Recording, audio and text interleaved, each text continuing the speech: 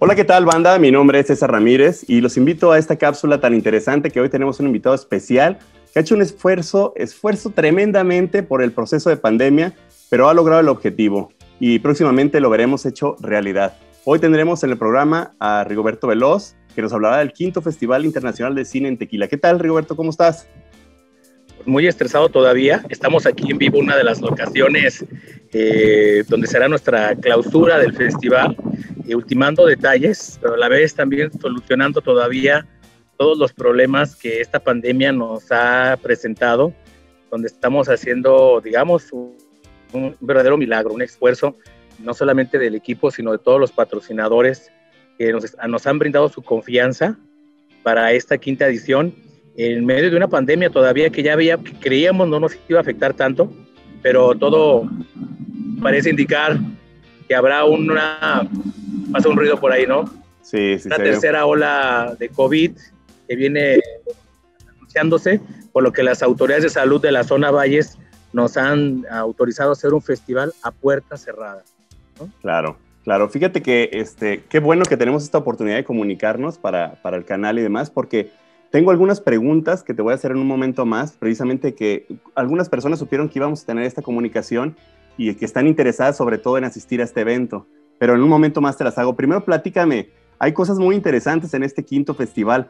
Me enteré, por, me enteré que hay este, premiaciones, ¿verdad? Respecto a algunos, algunos proyectos que tienes como eh, Tequila en Corto, otro que se llama eh, eh, Tequila Shot. a ver, platícanos un poquito de este tema. Short Shot Tequila. Exacto. Mira, desde el año pasado, Short Shot Tequila fue la primera edición que tuvimos de este, de este concurso, porque nos, eh, por medio de la amistad que tenemos con Jorge Magaña de Short México, eh, y él tiene un pitching donde los participantes presentan un proyecto de cortometraje y junto con el apoyo de la Canacine, y ahora sí que de los tequileros, con un shot de tequila le pusimos ahí, ¿no? Short, shot de tequila, hacemos un cortometraje. Excelente. Totalmente producido por, este, por la, ahora sí que por todo el esfuerzo de diversas empresas como la, este, digamos, eh, Polar Studio, Elemental, Oscar Ramírez, Jorge Araujo, Globe Artes Escénicas, JC Talents, entre otros más que se suman como Tequila Di Santi, que van a aportar económicamente y sobre todo los patrocinadores de esta zona, como la estación que nos da hospedaje, Cabo Bracerito, donde estamos que nos pone este, todo lo que son también alimentos. Entonces, muy contentos de poder hacer este concurso. Ya cerró, o está por cerrar, no, creo que según yo ya cerró su, su convocatoria. Tequila en corto sí está abierto. Y es un nuevo este, concurso que tenemos para la gente de la zona Valles. Pueden realizar un cortometraje este, grabado con un celular eh, de 1 a 8 minutos y estará presente en alguna de nuestras funciones de gala y tiene un premio de 5 mil pesos. Este, esas son las convocatorias, eh, es la nueva que tenemos para este año, con la intención de incentivar todo lo que es la producción cinematográfica, el deseo de hacer cine, de contar sus propias historias de toda esta región Valles, que como ya lo hemos dicho muchas veces, no tiene una sola sala de cine. Híjole, qué lamentable, qué, mal, qué lamentable, pero espero que eso se solucione pronto. Oye, también quisiera preguntarte, Ah, me enteré, esto es con la finalidad precisamente que dices de apoyar a toda esa región, pero son a esta convocatoria solamente pueden participar la gente de la región, ¿verdad? Tequila en corto sí, es para la gente que vive o es de la región, o sea, que tienen tiempo radicando o que son originarios de la región, pueden participar, porque pareciera que sí, el, el festival, pues todo muy padre, pero sí no teníamos como algo muy exclusivo para la zona somos un festival internacional, recibimos proyectos que te le quiero presumir este año, de 76 proyectos que recibimos en las plataformas para la inscripción. Este año recibimos 320 trabajos. Súper bien. Que superó todas nuestras expectativas.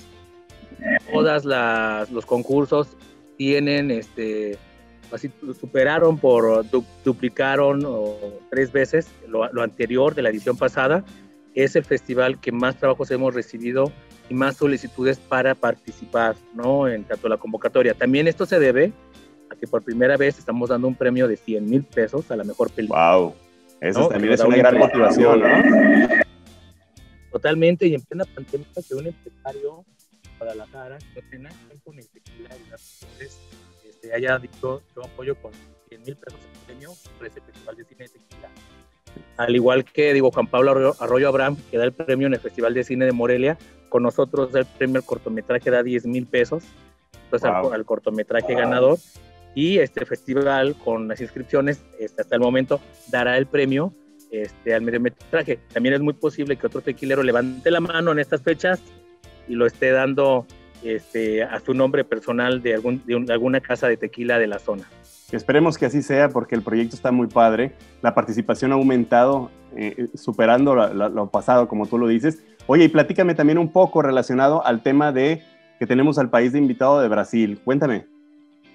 Así es, dice la, la embajada que según lo que ellos saben es la primera vez que Brasil participa en un festival de cine en México. Entonces eh, tenemos eh, la sorpresa de tener a, también al Festival Curto Cinema, que es un festival de cortometrajes eh, brasileño, y a Litón Franco, que es su director, que es el líder de la red iberoamericana de festivales en Brasil, pues es un aliado este año para nosotros, nos trae una muestra de cortometrajes, la embajada también nos trae algunas películas de una muestra del cine brasileño, y este, estarán presentes algunos realizadores o algunas eh, de las autoridades brasileñas aquí con nosotros en esta quinta edición. De hecho, es muy probable que en Guadalajara, en, el, Centro Cultural, que es el, el, el, Mercado Bola, ¿no? que ahora es un centro cultural, ahí tendremos algunas de las proyecciones en la del país invitado de honor.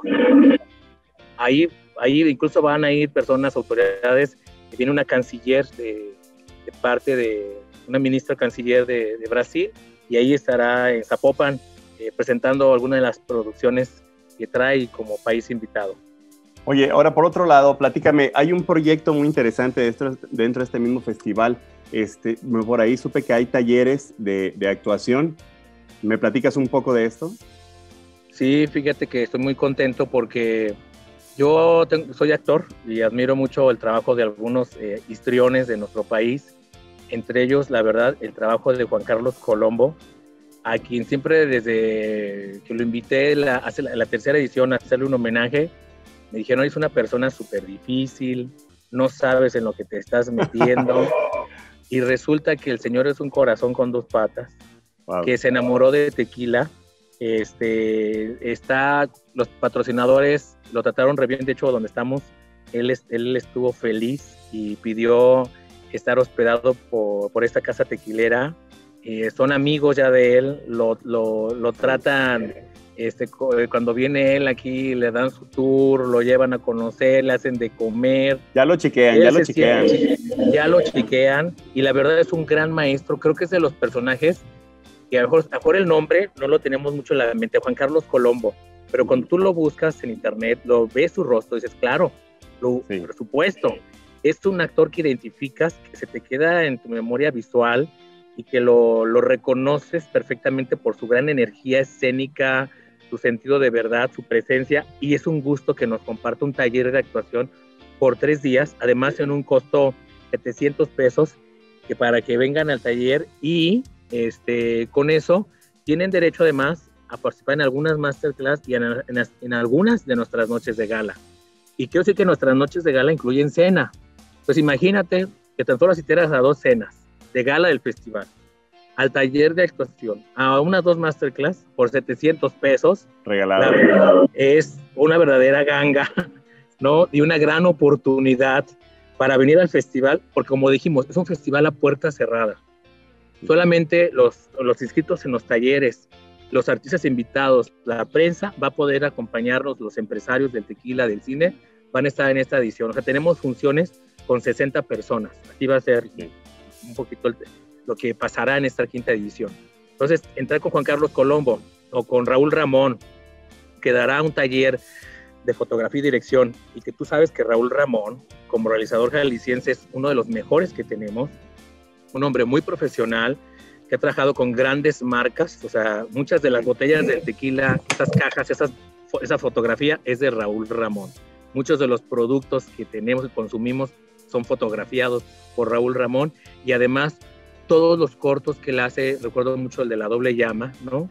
Que, lo grabó en Bariloche, donde habla de estos, del encuentro entre los dos papas, como esta película que luego sacó Netflix, pero estos dos papas jóvenes que se encuentran en plena guerra eh, los dos prácticamente desertores se encuentran en un lugar ya que ha sido bombardeado por el tiempo de los nazis, este, cuando ambos eran soldados. La verdad, una magnífica idea y realizada por un mexicano y parece una producción de Hollywood. Cuando tú la ves dices, esto es una película hollywoodense.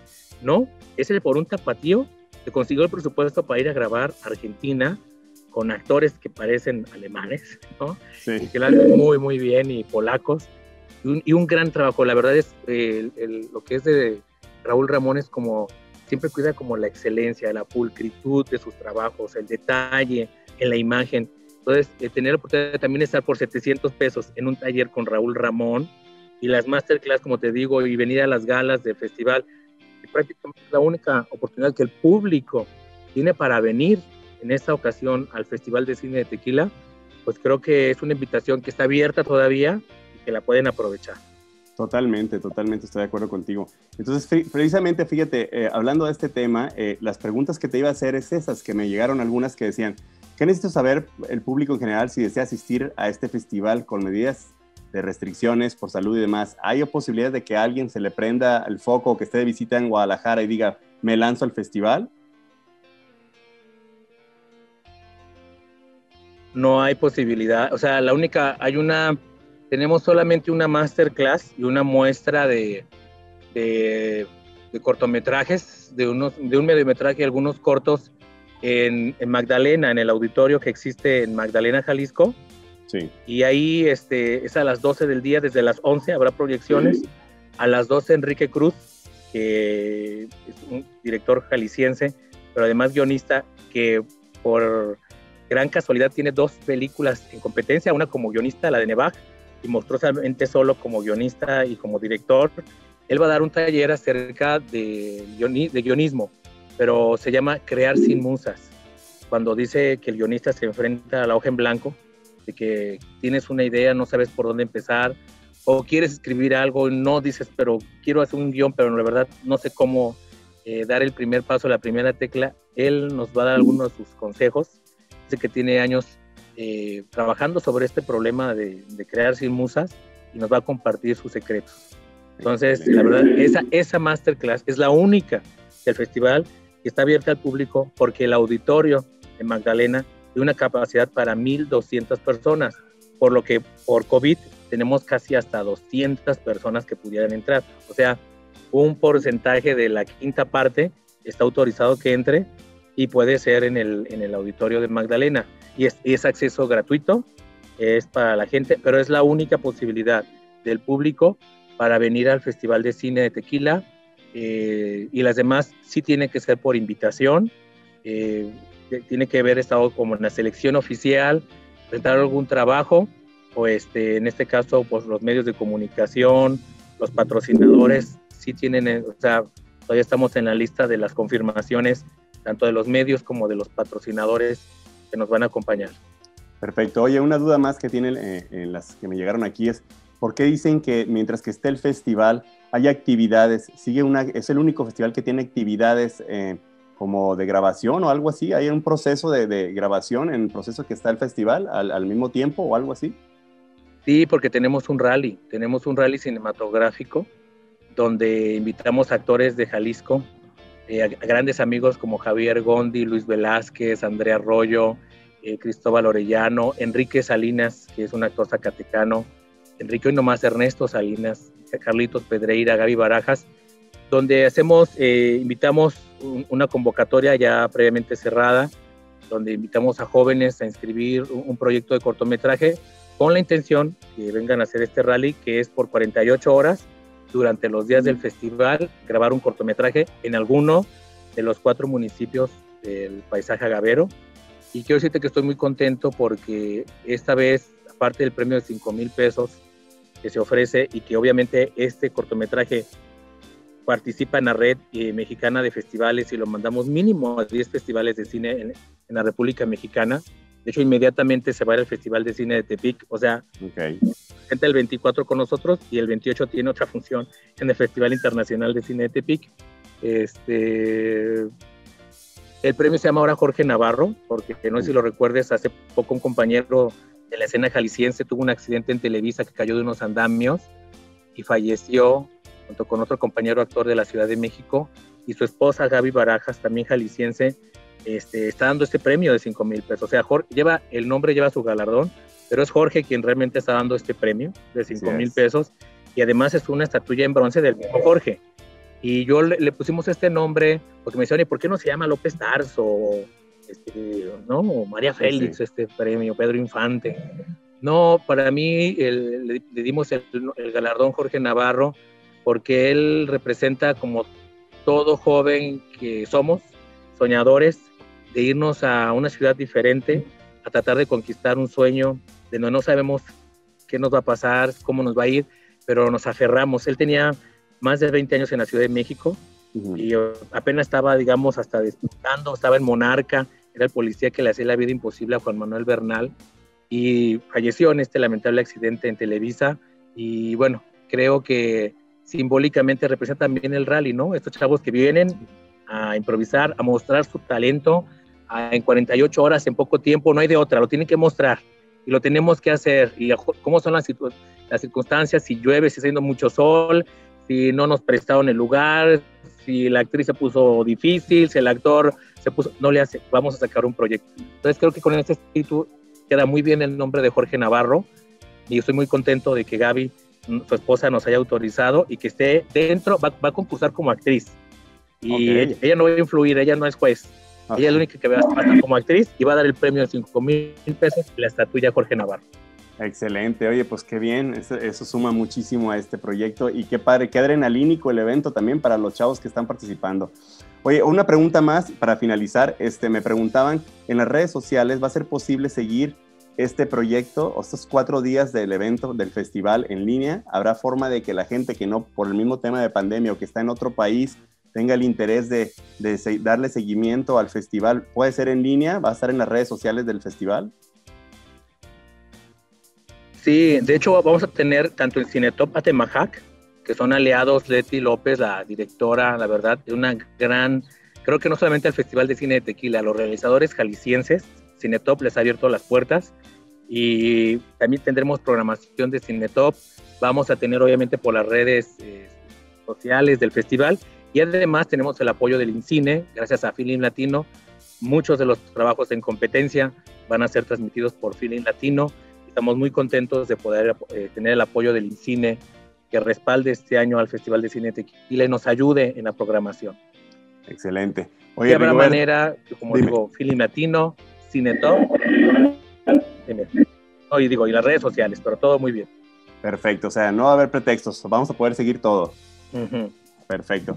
Rigoberto, pues ya para agradecerte tu tiempo, eh, ¿algo más que quieras agregar a esta, a esta cápsula? No, pues agradecer siempre tu apoyo de todos los medios de comunicación que año con año nos siguen. Los esperamos aquí con mucho gusto y pues sí, síganos en redes sociales y a todos los que quieren participar en vivo si quieren dar la oportunidad, participen en estos dos talleres. Todavía hay lugares con Juan Carlos Colombo, con Raúl Ramón. Este, es una capacidad muy pequeña también por el mismo tema del COVID. Este, será muy difícil, pero pues agradecerles a todos, a medios de comunicación y patrocinadores que han creído en nosotros. Muchísimas gracias, Rigoberto. Pues te agradecemos de nuevo el tiempo que nos has dado, la explicación de este hermoso quinto Festival Internacional de Cine en Tequila, el famoso FICTEC, y lo ponemos en todos lados como FICTEC. Este, pues muchísimas gracias. Fue un honor para César Ramírez Estudio tenerte en el programa. Nos vemos pronto y suerte con el evento. Gracias, César. Aquí te esperamos en Tequila. Nos vemos, que estés muy bien. Hasta luego. Bye.